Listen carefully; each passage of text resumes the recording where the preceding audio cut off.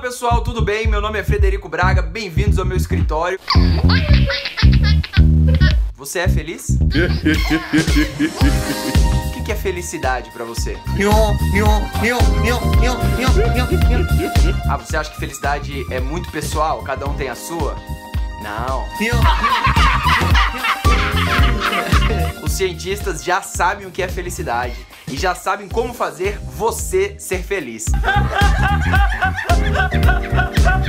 Muita gente acha que para ser feliz você precisa ter sucesso, mas aí veio a psicologia positiva e falou assim: não, não é o sucesso que vai te trazer a felicidade, é a sua felicidade que vai trazer o seu sucesso. O que é a psicologia positiva? É um ramo da psicologia que surgiu em 1998.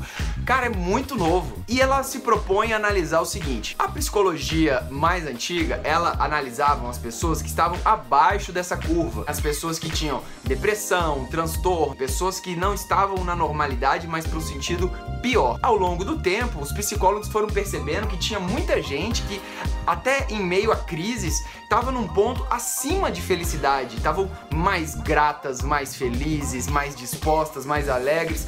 E aí eles pararam para pensar assim, pô, que, que a gente não estuda as pessoas que estão acima dessa curva? E aí nasceu a psicologia positiva. Bem, o jeito Harvard de ser feliz foi escrito pelo autor Sean Asher, que é um desses psicólogos positivos. Ele estudou em Harvard e a maioria das suas pesquisas foram feitas lá. Por isso que o livro chama o jeito Harvard de ser feliz. Mas o que, que ele quer dizer com o jeito Harvard de ser feliz? Não é só da galera de Harvard, é da galera que é o que, que a ciência diz sobre a felicidade. Acontece que o nosso cérebro é, ele é programado para apresentar um melhor desempenho não quando ele está neutro ou quando ele está triste, mas sim quando ele está positivo. Mas no mundo de hoje nós sacrificamos a nossa felicidade pelo sucesso. E aí é uma coisa irônica, porque a gente corre atrás do sucesso, estressando o nosso cérebro, mas sendo que ele apresenta melhores resultados se a gente estiver feliz. Então, a lógica da psicologia positiva é a gente ser feliz antes e o sucesso vem depois, porque nós estamos com as nossas ferramentas cerebrais mais afiadas para desempenhar as tarefas que nós propusermos a fazer. Oh, oh, oh, e o objetivo desse livro é muni-lo de ferramentas científicas comprovadas que se você seguir, você vai ser feliz. É o que o autor diz, né? Essas ferramentas são um conjunto de hábitos que você tem que desenvolver todos os dias que comprovadamente garantem a sua felicidade e realização. Então, é você cultivar atitudes e comportamentos. Ser feliz não é acreditar que precisamos mudar, é perceber que podemos. Tudo começa com as crenças. A crença de que os nossos genes nos definem é o mito mais ruim da cultura moderna. Crença tá dentro de você, é uma história que você conta. É, inclusive teve um professor nosso, é um master coaching, que ele fez um, um exercício muito legal. Vou fazer esse exercício com vocês. Pense agora no salário, um salário bom que você quer ganhar por mês daqui a um ano, beleza, pessoa? Agora dobra esse valor. Dobrou? Agora dobra mais uma vez. Dobrou? Agora dobra mais uma vez. Não perde as contas não. Dobra mais uma vez. Agora dobra mais uma vez. Esse exercício eu acho que ele chama cinco vezes mais, que ele vai pegar numa crença bem arraigada na maioria das pessoas. Vê se isso aconteceu com você. Geralmente você pensa num valor, sei lá, caralho, 50 mil reais. Meu irmão, caraca, se eu ganhar 50 mil reais por mês é muita grana. Aí quando eu falo, dobra esse valor.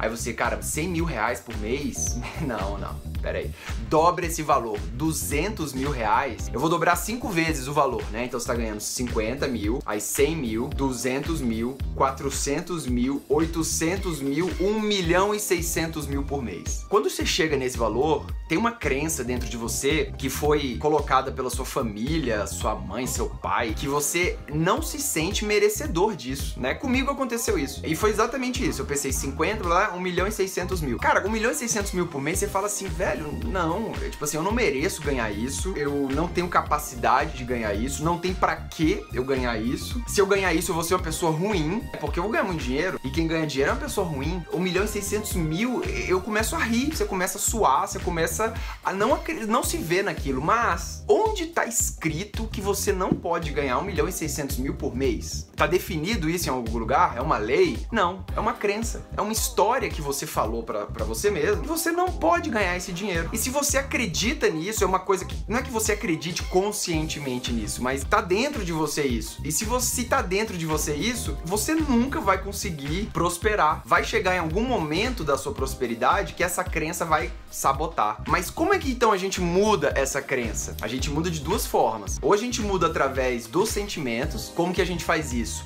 Imersão sacou? Vai para um retiro de imersão, de sucesso. São essas experiências que os sentimentos trazem que vão conseguir mudar essa crença. E tem outras ferramentas. Tem uma ferramenta aqui nos pensamentos que pela repetição você consegue mudar a sua crença. É você escrever perto de você, o seu ambiente, em algum lugar e você repetir para você todos os dias: eu vou, eu posso, eu quero. Aí você vai martelando para você até que você muda. Tá, e a gente tá falando de felicidade, do jeito Harvard de ser feliz e como os cientistas definem a felicidade. Felicidade é você experienciar emoções positivas. Prazer combinado com um senso mais profundo de sentido e propósito. Mas também tem outra definição de felicidade que o autor autor fala que para ele, felicidade é quando buscamos atingir o nosso pleno potencial. Você descobre qual é o seu potencial naquelas tarefas em que você entra no estado de flow. Quando você tá fazendo algo e você não sente o tempo passar, você fica completamente imerso naquilo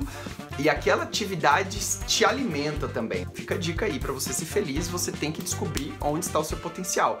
Ah, mas pô, Fred, como é que eu descubro como qual é o meu potencial? Aí tem um site que faz isso para você. Óbvio que tem um site, tá aqui na descrição do vídeo. Você pode entrar nesse site e ver quais são os seus pontos fortes e lá você vai começar a vislumbrar onde está o seu potencial. E é de graça. Bem, o livro é dividido em três partes. A primeira parte do livro fala sobre a psicologia positiva. A segunda parte ele vai falar dos sete princípios da felicidade, que são o benefício da felicidade, o ponto de apoio e alavanca, o efeito Tetris, encontre oportunidades na adversidade, o círculo do zorro, a regra dos 20 segundos, investimento social. Esses princípios são exatamente as ferramentas que você vai usar para você ser feliz. Por exemplo, o círculo do zorro. Vou explicar só esse rapidamente. O que é o círculo do zorro? Você tá uma zona na sua casa, tá uma zona na sua vida, tá uma zona seu escritório, você não tem nem força para começar a arrumar as coisas. O que, que você tem que fazer? Você pensar na tarefa como um todo é muita coisa, né? Você vai se desanimar e você vai acabar não fazendo. Então você tem que ter pequenos sucessos na arrumação da sua vida. Então vamos supor, você vai traçar um círculo pequeno ao seu redor, por exemplo, essa mesa. Esse é o meu círculo. Eu vou arrumar essa mesa e vou deixá-la arrumada durante uma semana. A partir do momento em que eu realizei uma tarefa pequena, relativamente fácil, que é arrumar essa mesa, aí meu cérebro já começa a entrar numa parada de, porra, eu consigo, agora eu vou conseguir. Então depois da mesa vem esse armário aqui de cima. Massa, arrumei. Agora vai vir esse quarto. Pô, arrumei o quarto, depois a casa. Isso assim, ao longo de semanas, ao longo de meses, né? A sua vida, você tá, pô, tá gordo, tá todo fodido, não sei o que. Então, calma, vamos arrumar uma coisa por vez. Vou cortar o cabelo, vou comprar uma roupa melhor, sair para correr. E aí entra no outra ferramenta, que é a regra dos 20 segundos.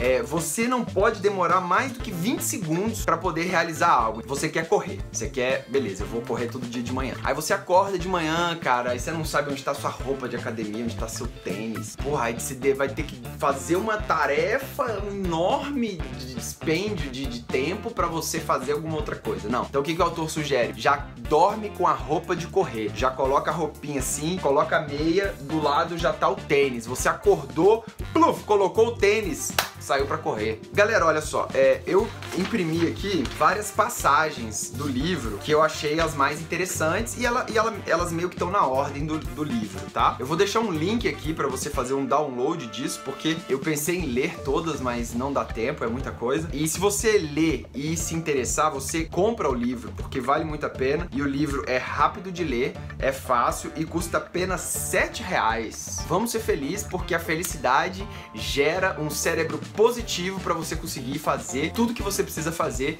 e obter o sucesso na sua vida, tá certo? Então, valeu, até a próxima. Ler é verbo, tamo aí em busca do conhecimento. Valeu!